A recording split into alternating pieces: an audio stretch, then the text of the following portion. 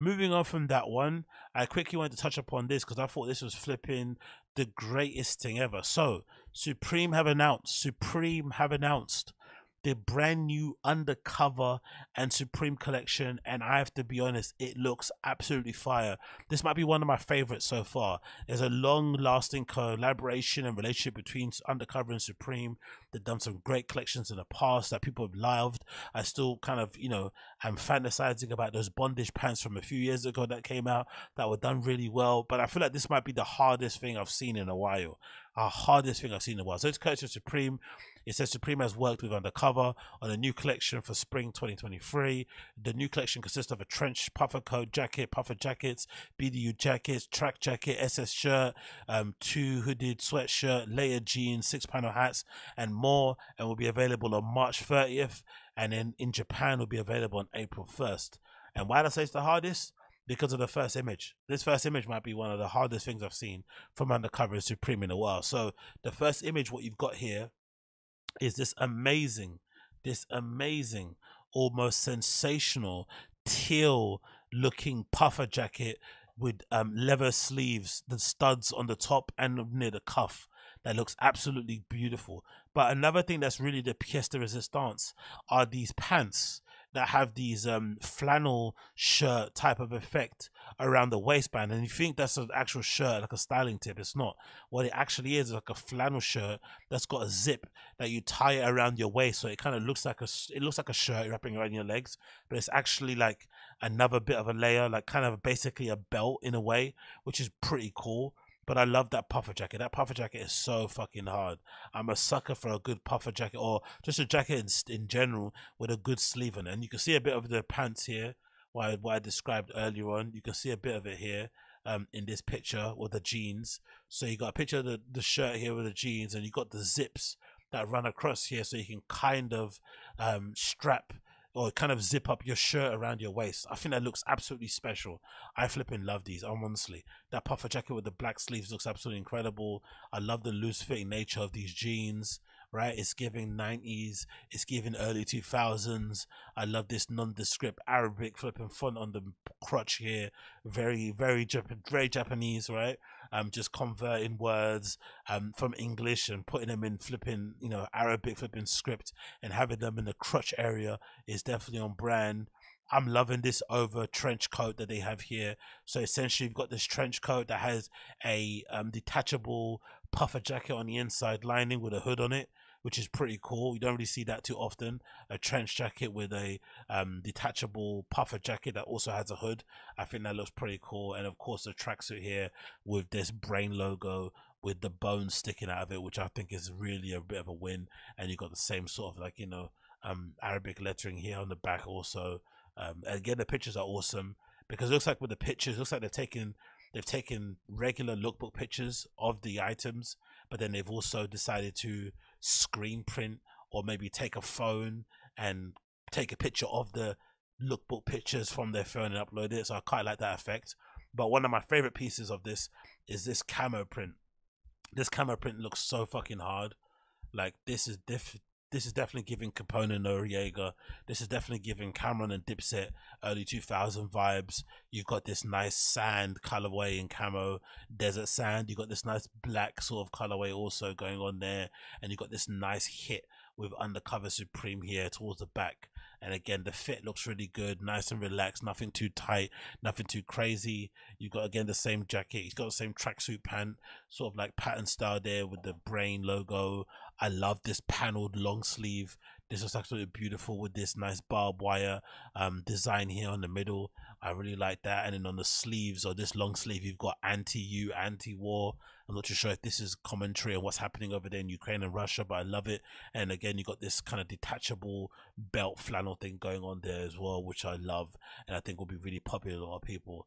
But that looks absolutely brilliant. You've got some nice tartan shirt there, a nice flipping um spray. It looks like like a speech bubble spray top as well. That looks pretty cool.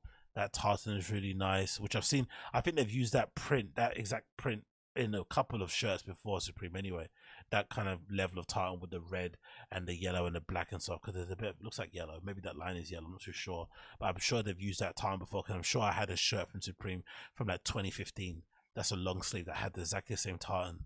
I'm pretty sure. Um, but anyway, we continue. More nice tracksuits. Um, a nice T-shirt here that says "Sup" with a decent little um illustration in the back or artwork. I'm not really too sure what that is. We've got another hooded top here also that says "Anti You."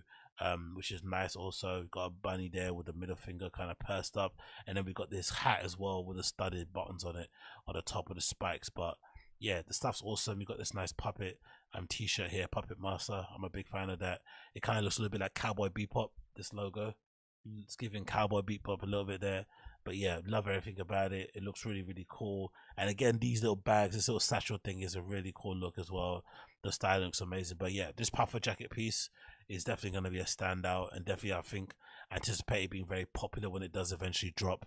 It comes in all black and then you've got this nice teal colorway with this sort of brown effect sleeve. I'm not too sure what colorway is the best. I think they're both equally as hard, but these are really nice. And then um, you got this trench coat that I mentioned earlier with the detachable um, puffer jacket hood type of thing as well. That looks really nice. Then you got the jeans I mentioned before with the detachable um, tartan flannel belt thing that goes around you, which I think it looks a really, really clever idea to have it sort of zipping around there and to make it look like you've got your flannel wrapped around you, you know, Kurt Cobain style, but actually it's zipped on your pants and there's a nice undercover Supreme hit at the back here 2023 anti-war so definitely wear these when you get invited to the flipping Kremlin to see Putin in it. Definitely wear those. You've got different colors of the pants. Comes in black, like denim and chino colorway. I like those. Maybe you can interchange a shirt if you wanted to. Then you've got the camo, the studded BDU. Oh, it's a studded BDU jacket. Where's the studs? There's meant to be studs on this. Where is it? I don't see the studs. Where's the studs on here? Oh, studs all over the front. Wow, I love this. That looks really cool. I didn't actually even see the studs. They're all over the front of the jacket. This might be in there being bucks, but this is really, really, really nice. I love this. This looks super, super, super cool. I'm a big fan of all of this. The pants look really nice as well. Nice little fit on them and shape. Uh, again, more so with the other kind of camo pants. You got the nice, what is this called? It's a track jacket with the brain and the cross and the sort of bones logo. They look pretty nice also with the track pants there. Again, we continue more tracks pants, a flannel shirt, which looks obviously awesome. Um, in different colors, and then this is one of my favorite pieces actually. This um moto jersey, I love the paneling on this, especially on the sleeve here. You got this really nice Raglan sleeve design, and then it kind of cuts away here, and it looks like there's two different materials. Maybe it's a bit of mesh there, a bit of mesh underneath the you know the armpit, so you can sweat and wick out more. And you've got this nice little phrase here: "Anti-you, anti-war." We love that. We love that. We love that solidarity with my Ukrainian brothers and sisters. I guess maybe who knows. But yeah, we continue on there. Nice little bits and pieces. I'm not really fond of some of the sweat pieces. The anti-you with the middle finger is a little bit too, um, a little bit too infantile for me to be wearing around. Because I remember I used to love that. I used to love um wearing Supreme stuff that said the FU all over it and whatnot. But now, you know, when you're a little bit older, it's a little bit kind of it's a little bit um kind of cringe to flipping be wearing that stuff. I like the sup as well um logo that looks pretty decent and nice T design again that um you know that puppet master t-shirt design looks cool. The studded hat not really for me unfortunately.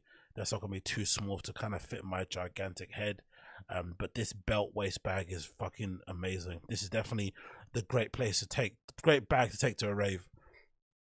You can have different stuff in there right? You can have some dmt have some cat, have some coke, have some pills, have some mushrooms, have some LSD, right? You can put them all in a little different satchel if you go in, and you know, depending on if the security searches each bag, you can decide what you end up taking in there. It could be a bit of a pick and mix in terms of what you take to a nightclub. And again, we've got a nice little rug anti-you with a middle finger on them also, which is a little bit excessive to have, you know, some middle finger rug in the middle of your flipping house. But hey, what can you do? Big fan of this in general. Coming out on the thirtieth. Um, so if you are, um, you know, eager to get a bit of undercover and Supreme, check out the website on the thirtieth. I think a lot of that will be available to purchase when it does drop, when it does end up dropping.